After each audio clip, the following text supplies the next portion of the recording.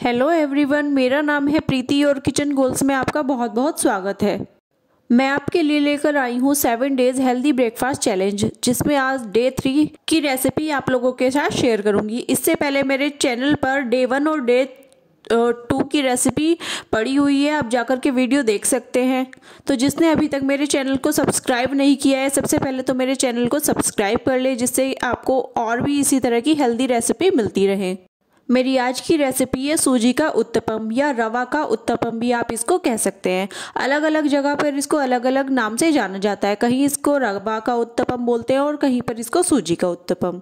इसको बनाने के लिए यहाँ पर मैंने एक कटोरी से थोड़ा कम सूजी का यूज़ किया है। जितना हम सूजी लेंगे उससे आधी क्वांटिटी में हमें यहाँ पर दही लेनी है। तो जितनी मैंने सूजी ली है, इससे आधी मैंने यहाँ पर दही ली है।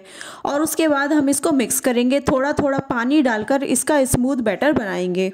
इसको हम 10 मिनट के लिए ढककर रखेंगे क्योंकि सूजी पानी में फूल जाती है और वो कुछ टाइम लेती है तो इसको इसलिए हम 10 मिनट के लिए रखेंगे। तब तक हम आगे की प्रिपरेशन कर लेते हैं। तो यहाँ पर मैंने यूज़ किया है एक प्याज, एक टमाटर, एक शिमला मिर्च और थोड़ी धनिया की पत्तियाँ। आप चाहें तो गाजर का भी यूज़ कर सकते हैं। इन सभी को हम बहुत छोटा छोटा बारीक बारीक चॉप कर लेंगे। तो यहाँ पर मैं प्याज को चॉप कर रही हूँ और उसी तरह से फिर मैं टमाटर और शिमला मिर्च को भी चॉप कर लूँगी। सब्ज़ियाँ जितनी ज़्यादा रहेंगी उत्तपम में, हमारा उत्तपम उतना ही हेल्दी बनेगा। उत्तपम जो लोग वेट लॉस कर रहे हैं, उनके लिए भी बहुत ही अच्छा सोर्स माना जाता है क्योंकि ये सूजी का बनता है और इसमें वेजिटेबल्स खूब सारी होती हैं। अच्छी हेल्थ के लिए बहुत ज़रूरी है कि सुबह का नाश्ता भी हमारा हेल्दी हो। अगर आपको मेरी वीडियो अच्छी लग रही है तो लाइक ज़रूर कीजिएगा और आपकी जो भी क्वेरीज हो, आप कमेंट सेक्शन में पूछ सकते हैं। तो सारी सब्ज़ियाँ हो गई हैं चॉप अच्छे से और यहाँ पर 10 मिनट भी हो गई हैं बैटर को रखे हुए। अब हम इसमें ऐड करेंगे एज पर टेस्ट सॉल्ट धनिया पाउडर और काली मिर्च पाउडर। इन सबको डालने के बाद इसको अच्छे से मिक्स करेंगे। अब हम देखेंगे कि हमारा बैटर थोड़ा गाढ़ा है तो हम इसमें थोड़ा सा पानी ऐड करेंगे और अपने बैटर को स्मूथ बनाएँगे। बहुत ज़्यादा ये पतला नहीं होना चाहिए और ना ही बहुत ज़्यादा गाढ़ा। हमें इसमें सिर्फ़ उतना ही पानी ऐड करना है कि हमारा बैटर बहुत ज़्यादा पतला ना हो जाए। तो देखिए, इसको अच्छे से मिक्स करना है ज़रूरत के अनुसार पानी मिला के। सो अब हमारा बैटर कुछ ये इस तरह का हो गया है। सो देखिए फ्रेंड्स इसकी थिकनेस इस तरह की है।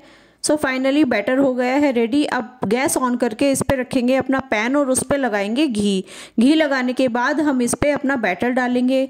तवा तेज गर्म होना चाहिए, ठंडा नहीं होना चाहिए, वरना ये तवे से चिपक जाएगा। सो इस तरह से हम इसको हल्का हल्का फैला देंगे।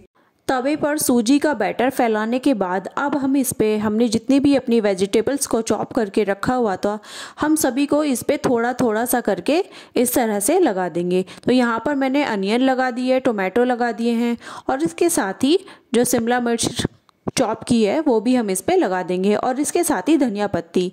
तो देखिए फ्रेंड्स देखने में ये कितना अच्छा लग रहा है। देखने में जितना अच्छा लग रहा है, खाने में उतना ही ये स्वादिष्ट होता है। बच्चों को, बड़ों को, हर एज के लोगों को ये खाने में बहुत पसंद आता है।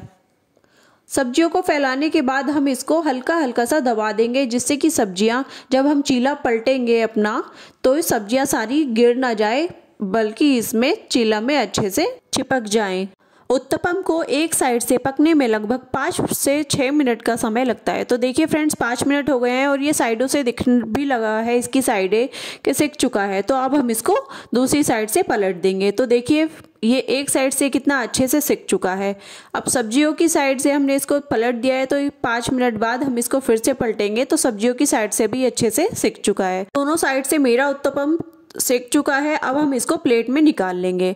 आप इसको नारियल की चटनी के साथ, धनिया चटनी या पुदीने की चटनी के साथ, किसी भी चटनी के साथ आप इसको खा सकते हैं। तो देखिए आप कितने कम समय में सुबह का हेल्दी नाश्ता बना सकते हैं और अपनी इस दिन की शुरुआत एक अच्छे नाश्ते के साथ कर सकते हैं। तो आपको ये मेरी वीडियो कैसी लगी ज़रूर बताइएगा। वीडियो को ज़्यादा से ज़्यादा लोगों तक शेयर कीजिएगा और भी अच्छी अच्छी रेसिपी को जानने के लिए मेरे चैनल को ज़रूर सब्सक्राइब कीजिएगा।